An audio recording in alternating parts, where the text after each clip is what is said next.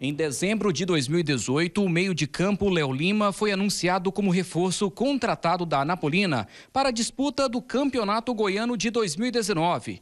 O jogador alega que participou da pré-temporada, defendeu o clube em alguns jogos, mas chegou fevereiro e nada de pagamento. Léo Lima entrou com ação de direitos trabalhistas contra o clube, alegando atraso de salários, direitos de uso de imagem e danos morais chegou a jogar sim essas partidas oficiais, mas ele veio a se machucar.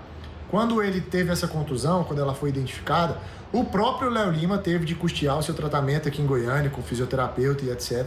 E quando ele retornou ao clube, a Anapolina, ele acabou sendo dispensado imotivadamente ou seja, sem nenhuma justa causa, a Napolina entendeu por bem rescindir o contrato de trabalho do Léo Lima. No processo, o jogador detalhou as condições dos alojamentos, sem ar-condicionado, e que teria chegado a ter que colocar o colchão no chão para dormir. Léo Lima alegou ainda que o clube não tinha estrutura, como academia, nem médico e fisioterapeuta. A Justiça Trabalhista condenou o clube provisoriamente em 80 mil reais. Essa condenação é em primeira instância. Foi da segunda vara do trabalho de Anápolis. A defesa do jogador Léo Lima disse que o clube teria perdido o prazo de recurso e não poderá mais recorrer.